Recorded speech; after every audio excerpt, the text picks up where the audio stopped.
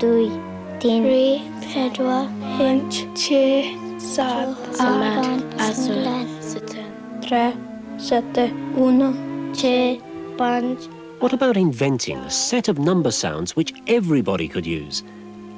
Now, there are five vowels. A, E, I, O, and U.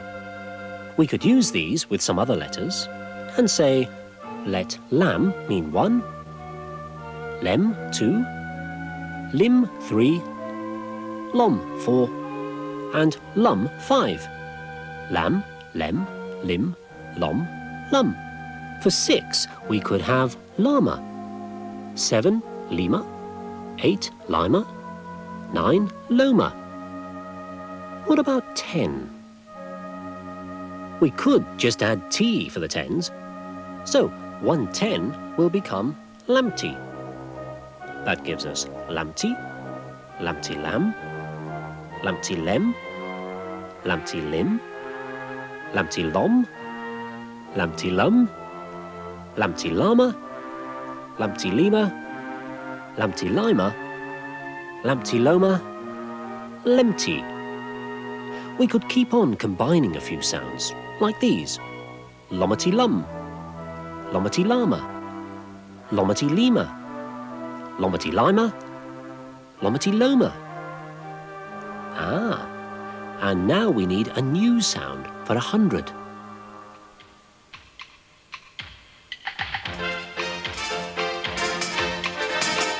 How good are you at estimating the numbers of things?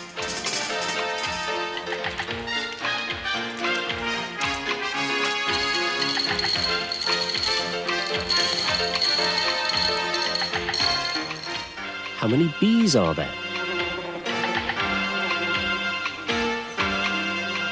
We think about a hundred. How many flamingos are there? We think about 150. How many people are there? We think about 250. Think about arranging things so they can be counted more easily. Think about counting all the ways that the numbers 1, 2, 3, 4 and 5 could be arranged. two, three. I reckon this time 504. Okay. go. One, two, three, four, five, six, seven, eight, 25, 26, 27, 21, 22, 23, 24, 25, 26, 27, 20, 28. Think about counting the grains of rice in a matchbox. It could be easier to count just the grains that fit in a square, and then the number of squares. Try counting the grains of sand in a thimble in a similar way.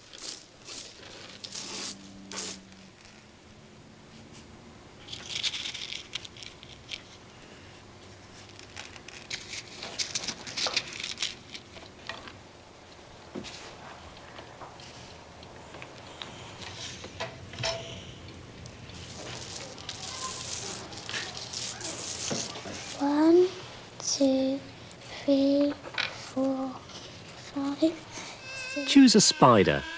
There will be six altogether.